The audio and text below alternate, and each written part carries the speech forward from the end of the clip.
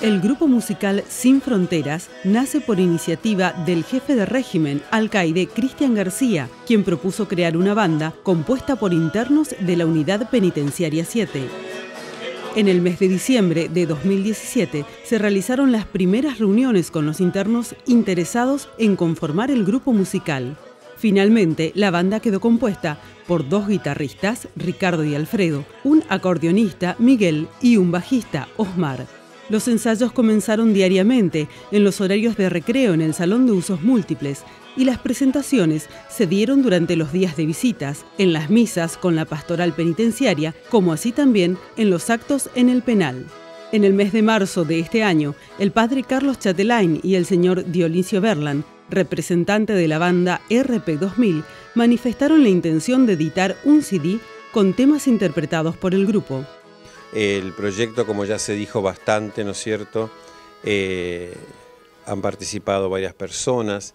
Siempre cuando surgen este tipo de proyectos me parece que lo fundamental es la buena disposición de parte del penal, de parte de los músicos, de parte de Dionisio, que lo primero que le dije Dionisio, no vamos a pensar en recaudar, acá tenemos que aportar en vez de recaudar para que ellos puedan este, encauzar así talentos, mensajes, eso es una gran realidad, se cantan puros mensajes del corazón que muchas veces están guardados detrás de las rejas y que esto le permite expresarse. Y agradecer también al grupo de la pastoral, que así venimos siempre los viernes, hace tres años que estamos viniendo, y un poco así la palabra que, de, que nos motiva es la palabra, por supuesto, de Dios que dice, estuve preso y me vinieron a ver. Para nosotros, los de la pastoral, es hacer una experiencia de Dios distinta, que no se hace afuera, que no se hace en un templo, y bueno, y uno siempre, la otra, a mí la, personalmente, uno de los grandes textos que me motivan es cuando dijeron, ¿qué podrá salir bueno de Nazaret? Y salió el Salvador.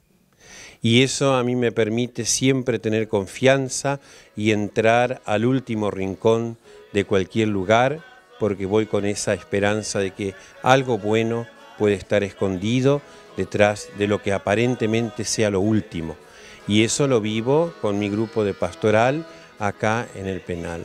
Yo debo agradecer a Padre Carlos porque él interviene hacia mí y me explica la situación y este, preguntando eh, si es posible. Técnicamente no es lo adecuado lo que hicimos venir con los equipos a grabar eh, así como lo hicimos. Se requiere por bien de algo más como un estudio preparado para que salga mejor. Pero hicimos lo posible, le metimos ficha y este, gracias a, a los... Eh, a la oficial acá que nos permitió el ingreso y logramos, y bueno, creo que salió bastante bien. Y bueno, eh, yo me siento este, honrado en haber sido elegido para hacer este, este, trabajo. Y creo que la música es como dice el nombre, sin frontera, la música llega, quiera o no quiera, de distinta forma a todos los oídos, a todos los corazones. Y bueno, es una forma de ellos expresar sus sentimientos y eh, llegar a la familia. Y yo creo que es eh, está bueno este trabajo. Y bueno eh, si podemos servir en algo para que esto siga vamos a hacerlo. Y bueno yo creo que música es cultura y debemos apoyar y aportar mucho en cultura para que muchas cosas mejoren Así se puso en marcha el proyecto, en principio con la búsqueda del nombre que los representaría, también la elección de la imagen de portada para el CD, la cual es una foto realizada dentro del penal durante una puesta de sol.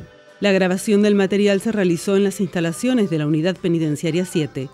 El CD cuenta con 13 canciones interpretadas en castellano y portugués.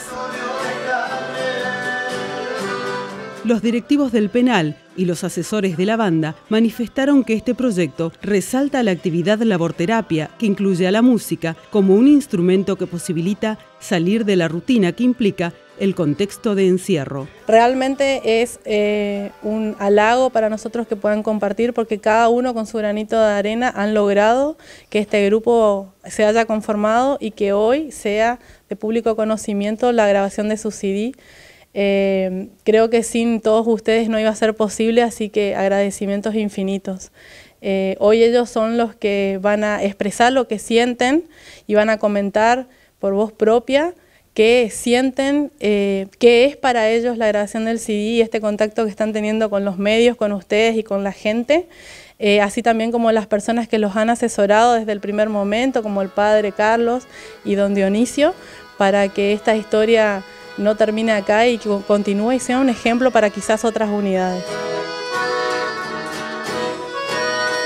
Acá tengo a mi izquierda Omar, que es vocalista y bajista, y tengo a mi derecha al señor Alfredo y a Miguel, que son mis compañeros, amigos que nos hicimos acá en el penal bueno, nació este proyecto a través de la señora directora que nos, dio este desafío para, salir adelante y bueno, al principio pensamos que no, iba a ser tan, tan serio como, como uno se esperaba, ni, eso, entonces eh, para nosotros es muy importante, bueno, para salir de la rutina que estábamos y bueno, encontramos a través de la música. Eh, la salida perfecta, diría yo, o en otras ocasiones no, no, tenemos, no teníamos esta oportunidad que tenemos. Los temas del CD fue eh, más por, por caso obvio, ¿no? Cada uno tenemos nuestro, nuestro fallo, diría yo, en otra palabra, por lo cual estamos... Y la canción habla de ella, ¿no? Y cada canción que se compuso en el primer CD eh, fue por, por eso, y más eh, hay mucho que dice que, es muy triste, el que entiende en portugués eh, dice que es muy triste, pero más por algo que nosotros sentimos es para desahogarnos. Esperemos que, le guste a la gente y creo que le gusta porque hasta, hasta este momento creo que está llegando a, a Mato Grosso, nuestro CD, hasta allá viajó, así que por, por, lo que he visto que le gusta a la gente, ¿me entendéis? Y hay gente que, que pide y que pide y eso a nosotros no, nos viene como como un balde de agua fría o como que nos dejan congelados porque no esperamos tal cosa, ¿no? Llama la atención porque creo que es la primera vez como que se graba una música regional como la que nosotros hacemos.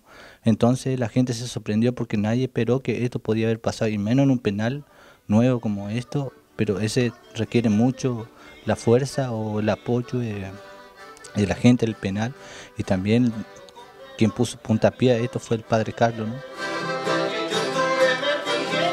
Cuando llegué acá yo estaba medio tímido, ¿no? Y ahí las compañeras empezaron a tocar y me escucharon en mi pabellón, yo pedí una guitarra prestada, empecé a tocar y cantar y, ellos me escucharon, empezaron a invitar, pedí que me traiga una guitarra para, para ayudar a ellos. Cuando llegué acá, entonces estaba ahí y hablamos también para la señora directora, para traer un acordeón, para hacer una música ahí, que yo tenía en mi casa este acordeón, entonces eh, la señora permitió que llegó hasta acá este acordeón, entonces comencé a tocar en los pabellones, de repente apareció mi compañero aquí, Bepo y Ricky y Omar.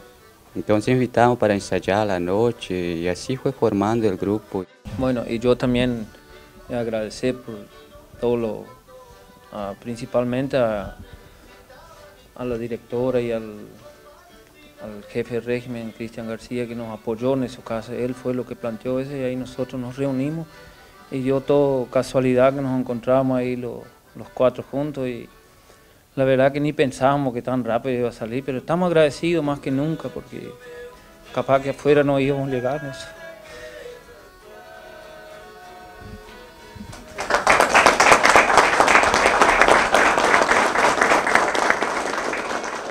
Esta iniciativa fue declarada de interés provincial por la Cámara de Representantes de Misiones. Hasta el momento, el CD es distribuido entre familiares y amigos de los integrantes del grupo musical.